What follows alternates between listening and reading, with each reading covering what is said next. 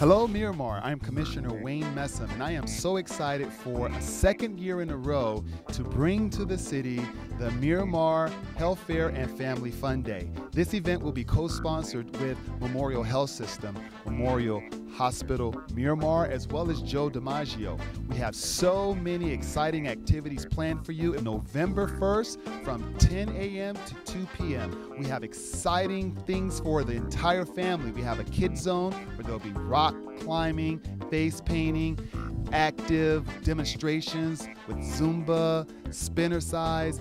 I encourage everyone to come out. I am so excited to be partnering for the second time with the City of Miramar for the Health Fair and Family Fun Day. It is going to be an amazing event, and if you were there last year, I can't imagine that you'd want to miss it this year because there's even more fun and more activities and all sorts of services that are going to be there for you. We are encouraging everyone, bring your children, bring your parents to come out. We have so many activities that will um, not only service you, but certainly a lot of fun. There'll be exciting rides, face painting, rock climbing, live demonstrations, health screenings, so many important services that we will be able to offer with the partnership with Memorial, who is basically extending their services right on the grounds of City Hall, and you can have a glimpse of the quality health care that's provided by Memorial. We are so excited that we uh, are only about two months away from celebrating our 10th anniversary, meaning that this hospital, Memorial Hospital Miramar,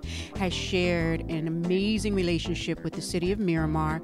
We have collaborated on many, many events. We're so excited and appreciative of that relationship, and we look forward to everyone coming out on November 1st.